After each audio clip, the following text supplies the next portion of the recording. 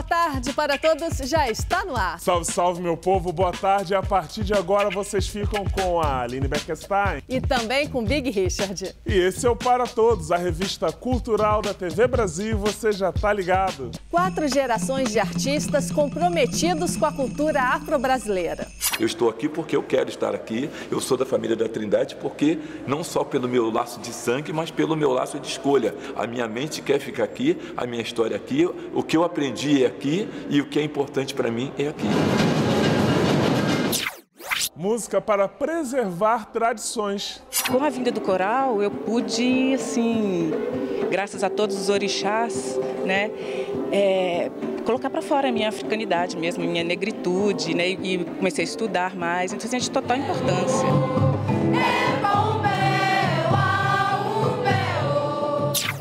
Uma voz doce e vibrante, Renata Jambeiro resgata em suas músicas as culturas indígena e africana. Eu fui criada na Umbanda. Eu fui criada no terreiro. Eu quero ver, vovô, eu quero ver. Eu quero ver se filho de Pemba tem querer. E mais, a música africana se mistura à erudita. O desafio é do quinteto Abanã. Existe música clássica brasileira. Se você pegar, por exemplo, Noel Rosa, pode ser uma música clássica. Pixinguinha, o que, que é clássico? Né?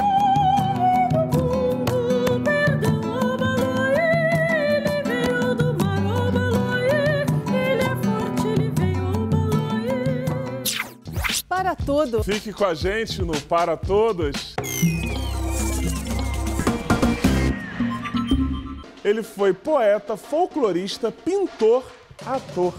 Às vésperas do aniversário da abolição da escravatura, o Para Todos lembra a história de Solano Trindade, um homem que dedicou a vida à produção artística e cultural e ainda à preservação das tradições afrodescendentes. Aliás, os descendentes dele também levam muito a sério esse assunto e até hoje mantém a família unida e atuante através da arte.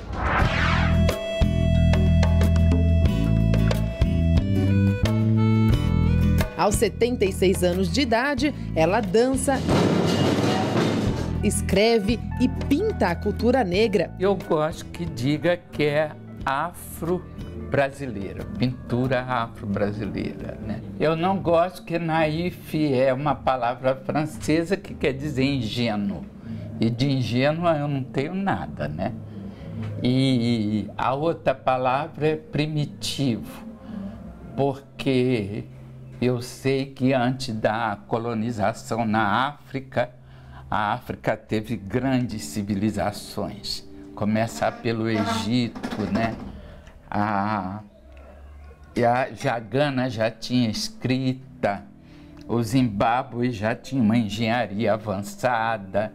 Então, chamar o africano, o, o descendente de africano de primitivo, eu acho que está errado, né?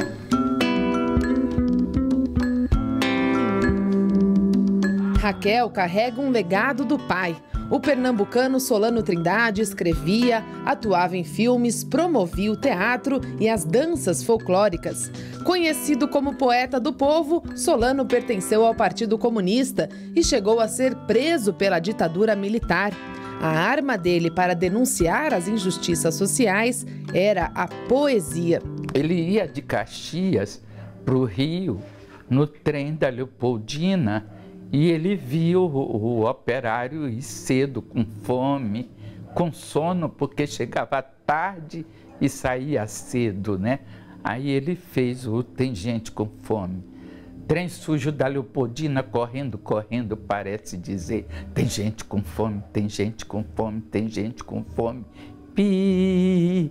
Só nas estações, quando vai parando, lentamente começa a dizer: se tem gente com fome, dai de comer. Se tem gente com fome, dai de comer. Se tem gente com fome, dai de comer. Mas o freio de ar, todo autoritário, manda o trem calar.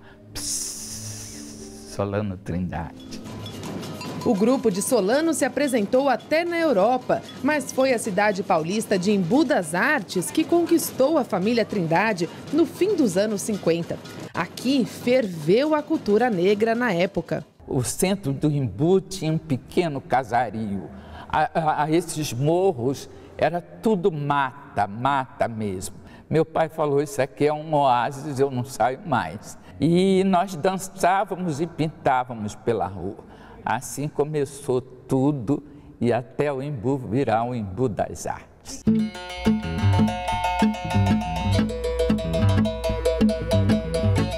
Mas hoje, quase um século de arte está ameaçado pelo tempo. Boa parte do acervo da família está neste quartinho, na casa da Raquel. Enquanto ela não consegue ajuda financeira para preservar o passado, uma dupla de estudantes está tentando organizar os materiais. Nós dois somos nascidos e criados na periferia sul de São Paulo.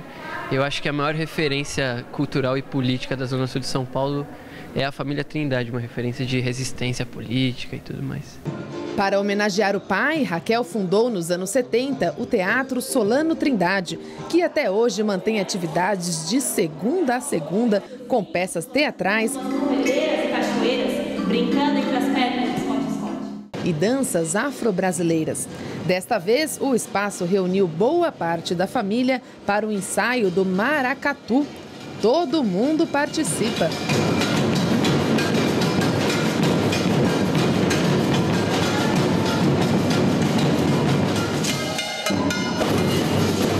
Liberto, irmão da Raquel, é sambista. Fui mestre de sala da Mocidade Alegre durante 14 anos. Fui vice-presidente do Peruche. Hoje estou pertenço à velha guarda do Vai Vai e sou embaixador do samba. Vitor é filho da Raquel e músico, pai da Maria, cantora, e do Zinho, que é rapper. Nesta roda, eles revelam como a família segue na quarta geração de artistas. Eu estou aqui porque eu quero estar aqui. Eu sou da família da Trindade porque não só pelo meu laço de sangue, mas pelo meu laço de escolha. A minha mente quer ficar aqui, a minha história aqui, o que eu aprendi é aqui e o que é importante para mim é aqui. Aqui eu crio meus filhos, aqui meus filhos vão criar, espero, os filhos deles. Fui criado aqui, então sendo criado aqui não tem como escapar. Né? Falar que você vai virar médico, você apanha. Como eu não tive escolha, né?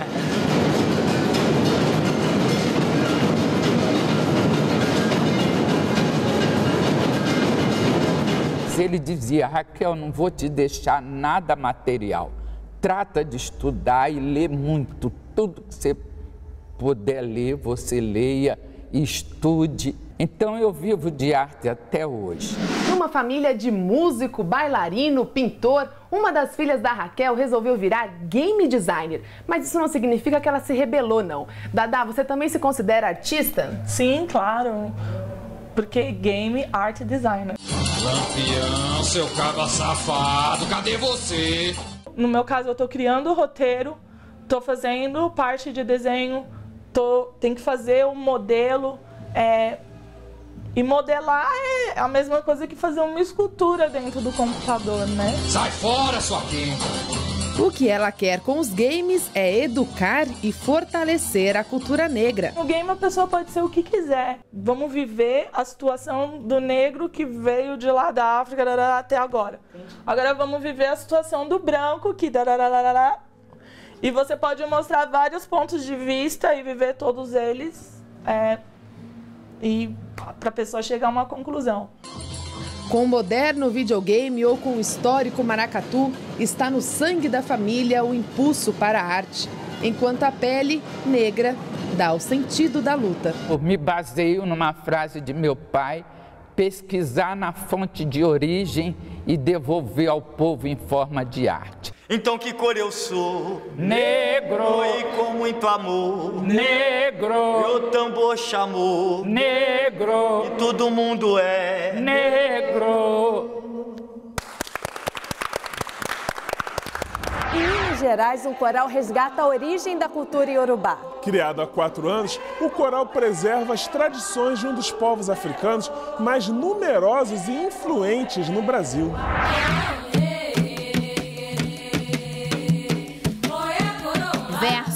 Frases, poemas fazem saudações aos orixás, deuses dessa tradição.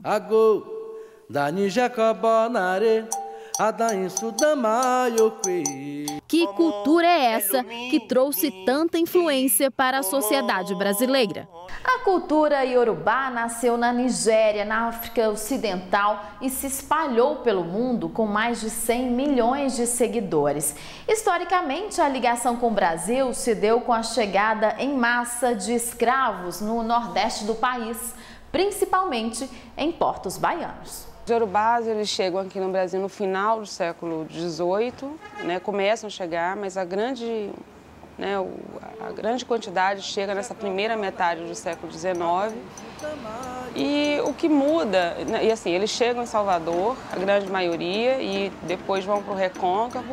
Também tem uma presença deles em, no Maranhão, né? alguns também no Pernambuco, mas a grande presença na Bahia mesmo nesse contexto né, de, de opressão e, e de, ter que aderir, de, que, de ter que aprender uma outra cultura aqui no Brasil, ah, esses, essas pessoas elas conseguem se organizar. E o que, o que um dos fatores que eu acho que propicia essa organização é essa necessidade de se proteger, né, num, num, mundo de cativeiro. É preciso proteger o outro, é preciso proteger o corpo, é preciso conseguir trabalhar e se organizar para conseguir comprar uma alforria. Ainda hoje, três séculos depois, os iorubás são os africanos mais numerosos, principalmente na Bahia.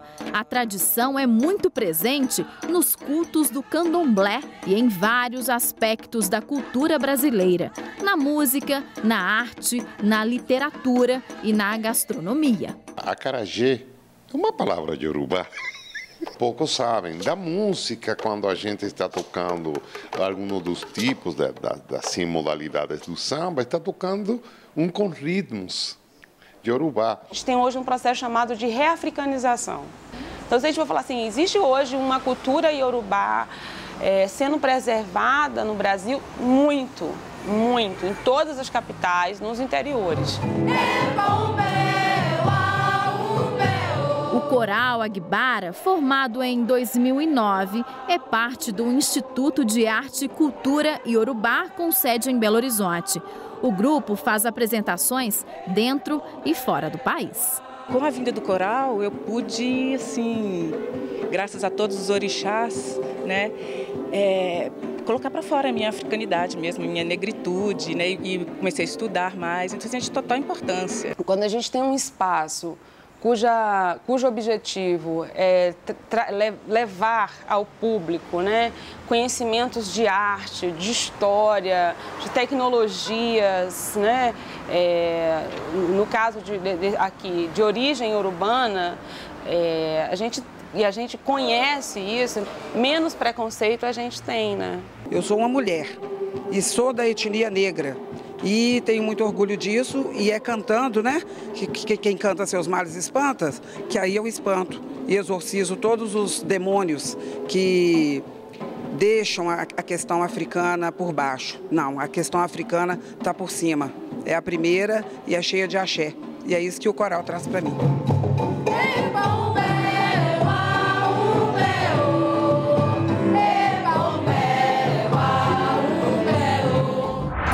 Pouco a voz doce e vibrante de Renata Jambeiro. Ainda hoje, arranjos clássicos para cantos de terreiro. Você vai conhecer o trabalho do quinteto Abanã. Fiquem aí, o Para Todos volta já.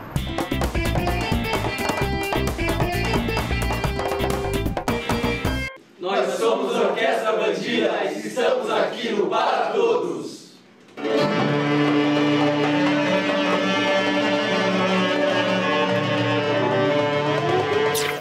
A voz é doce, mas com muita energia. Renata Jambeiro traz em sua música elementos das culturas africana e indígena e ainda faz uma releitura de estilos como jongo e samba de roda. Renata Jambeiro é o que a gente pode chamar de uma cantora com axé.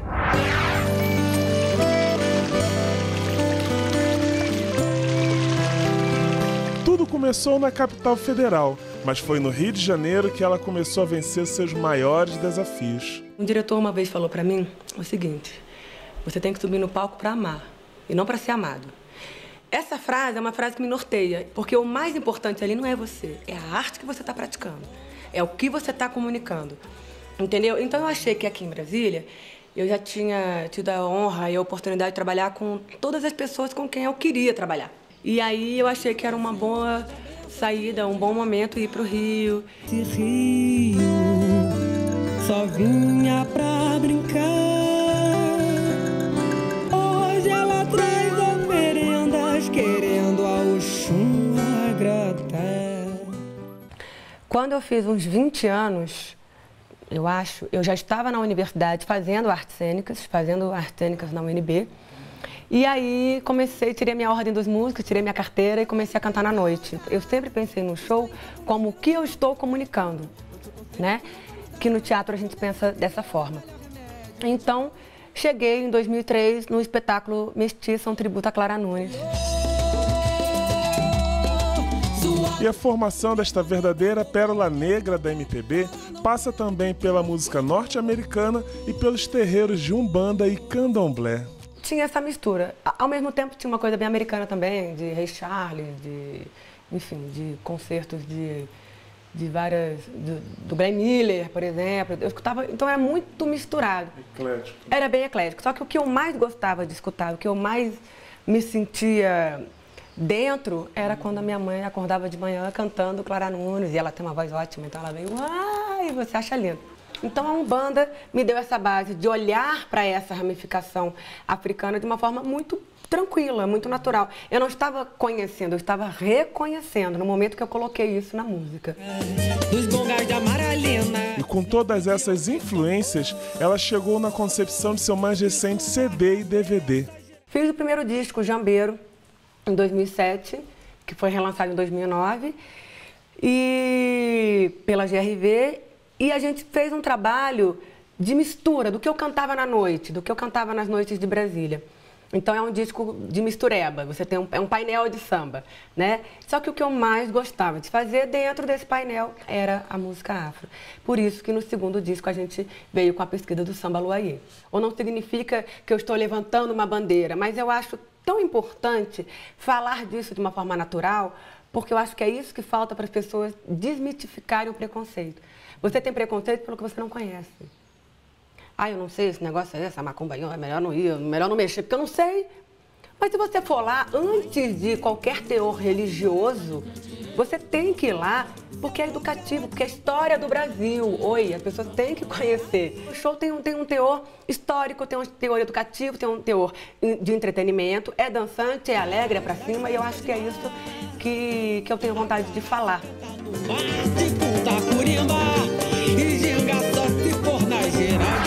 Agora você vai conhecer o trabalho de um grupo que coloca, por exemplo, arranjos clássicos nos cantos de terreiro.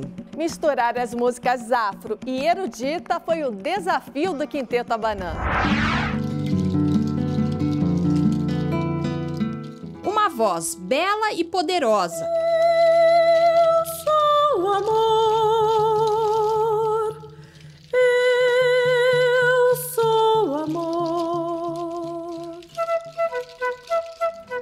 Arranjos de câmara para cantos de terreiro.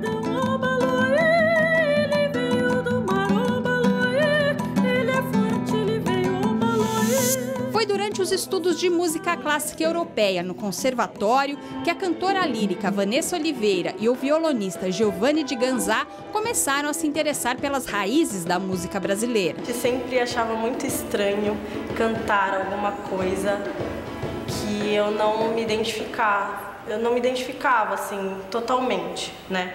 Histórias de amor a gente pode até se identificar com uma história ou outra, mas eu não me identificava com o contexto de tudo aquilo, né? Onde surgiu, geralmente era na Inglaterra, né? Porque tem muitas canções inglesas lindas, ou geralmente na Itália. Foi nessa que nós que nós entendemos que nós poderíamos fazer algo que tipo fosse mais mais afro mesmo, né? E, e, se nós estudássemos isso, né, música afro e, e, e tipo fizesse alguma junção com música erudita.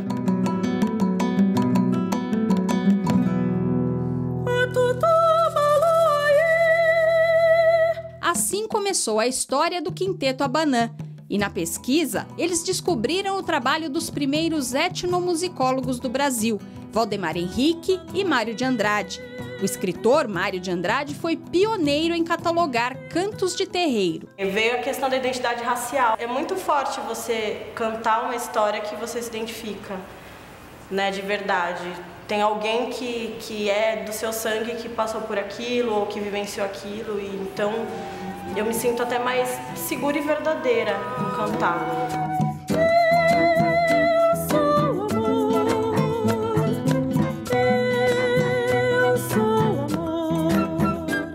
O percussionista João Nascimento é filho de músico e desde pequeno frequenta terreiro de candomblé. O candomblé tem a, a língua banto, tem a língua é, pode ser cantado em urubá também. O quinteto abanã ele traz também dentro do repertório essas, essas, é, esses dialetos, né? essas línguas que também são cultuados dentro dos candomblés. E hoje os candomblés tam, também podem ser cantados em português. E aí, assim, hoje eu entendo o Quinteto Abanã como um trabalho que traz essa mistura, que ela é, ela passa a ser brasileira, porque ela tem até, ela tem a mistura desses candomblés, que são é, de etnias diferentes, de tribos diferentes, e já com a mistura também do índio e do caboclo.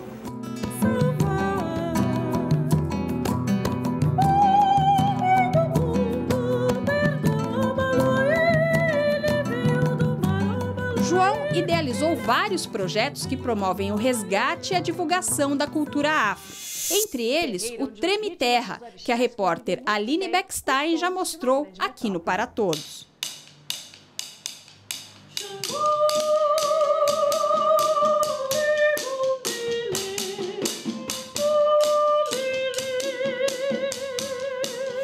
O Quinteto Abanã sempre se apresenta com dois músicos convidados. Desta vez, está com a flauta Silneido Macio. Ele foi atraído pela sonoridade do grupo. Pelo lado dos arranjos serem bem estruturados e pelo lado da música erudita entrar em contato com a música cultural étnica, seja pelo lado africano pelo lado brasileiro. Eu ainda estudo música, eu falo, estudo música na USP. Eu achei muito interessante isso, como isso funciona, como a teoria musical entra em contato com uma música étnica popular. Com a viola de corda, Alex Diniz une presente e passado. Minha família ela vem da, da religião banda, então já tinha contato com isso e cheguei também a tocar em centros espíritas. Depois, de, depois que eu tive essa experiência com o centro espírita, eu passei a estudar a música europeia, a música erudita, e eu recebi um convite né, do quinteto para fazer um trabalho com eles. E aí foi quando eu retornei novamente à questão da música afro, que eu achei bem diferente, ainda não conhecia ainda a junção das duas coisas.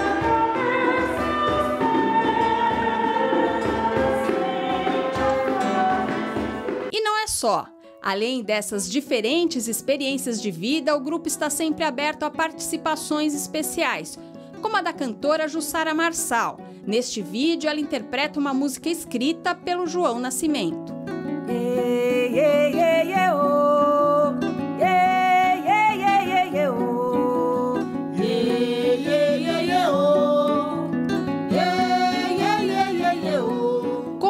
Ensinamentos do cubano Carlos Moore, doutor em etnologia, radicado no Brasil, o Abanã quer romper barreiras erguidas na cultura brasileira e mundial por exemplo, entender a música clássica além da Europa. Não só pensar em Beethoven, Mozart, Handel, pensar que a música clássica, existe música clássica brasileira. Se você pegar, por exemplo, Noel Rosa, pode ser uma música clássica. Pixinguinha, o que é clássico? Né? E quando a gente fala em música clássica, por exemplo, eu vou estudar violão, é, violão, um violão clássico, eu, já tô, eu vou direto para um repertório que é europeu. E ele abriu para a gente essa possibilidade de, nos, de entender a gente além do que a gente estava se vendo.